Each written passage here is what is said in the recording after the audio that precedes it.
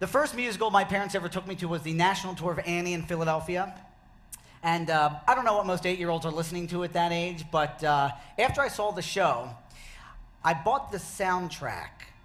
And uh, then I went home and I put on my parents' huge headphones and I would play the overture and I would conduct to it in the mirror. So hard that I would sweat. And then, after I was warmed up and nobody else was around, I would then lip sync to, you know, Bert Healy and Rooster Hannigan and, on occasion, Little Orphan Annie.